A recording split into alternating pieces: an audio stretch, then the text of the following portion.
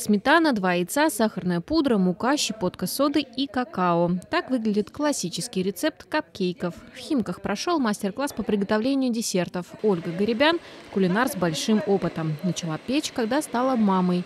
Сейчас у нее свой бизнес. Сегодня Ольга поделилась с химчанами секретами своих фирменных капкейков. Добавив сахар, ванилин в самом начале, вы получите ванильные капкейки.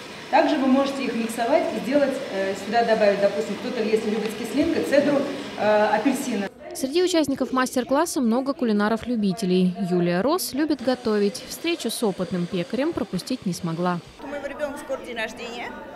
Тортик вот мы уже заказали. Я думаю, что капкейки сама смогу вполне осилить.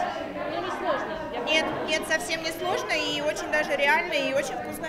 Ольга рассказала много тонкостей кулинарного искусства. Например, какой консистенции должно быть тесто для капкейков, как из подручных средств сделать кондитерский мешок и как украсить десерт.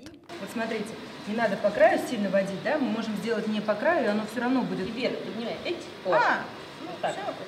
20 минут в духовке, после в ход идут сливки и фрукты. Еще 5 минут на украшение. Вкусные и красивые капкейки готовы. Теперь десятки химчан смогут повторить фирменный рецепт десерта на своей кухне. Ксения Каретникова, Николай Забродин, служба новостей.